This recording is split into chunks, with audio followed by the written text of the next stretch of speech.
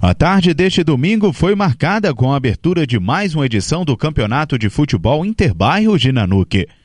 A solenidade contou com a presença de secretários de governo, vereadores e do vice-prefeito da cidade. A prefeitura sempre presente aqui na, nas atividades da nossa cidade, e principalmente na área esportiva, onde a gente sabe que tem um envolvimento muito grande dos, da, da nossa comunidade, então essa sempre foi uma preocupação do nosso gestor e vem aí agora incentivando este campeonato de bairros. Aproveitamos a oportunidade para convidar toda a comunidade para estar presente sempre nessas atividades. É importante para o nosso município, é importante para as famílias essa integração familiar prefeito está aí dando total apoio e nós queremos sim contar com o apoio da nossa comunidade nessas festividades do nosso município.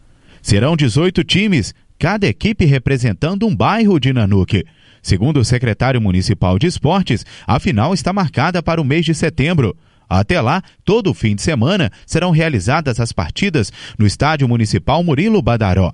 Um evento tradicional na cidade, que nós estamos já começando em 2017, um novo governo, certo? E queremos também convidar a população em geral para participar, para vir nos jogos. Os jogos serão realizados no sábado, domingo, domingo pela manhã, domingo à tarde e sábado pela tarde, entendeu?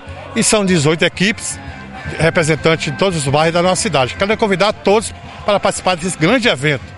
O início do campeonato trouxe uma grande expectativa para os amantes do futebol. Um, um momento importante para os desportistas de Nanuque, que parabenizar a prefeitura na, na pessoa do senhor prefeito, né, que deu início a esse tão esperado evento anual que a gente sempre aguarda.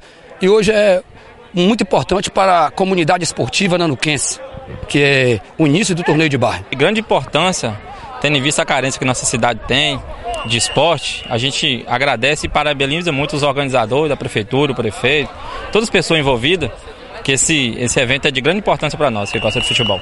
Após a execução do hino nacional, a bola rolou. Em campo, Campinhos 7 de setembro. O jogo foi bem disputado.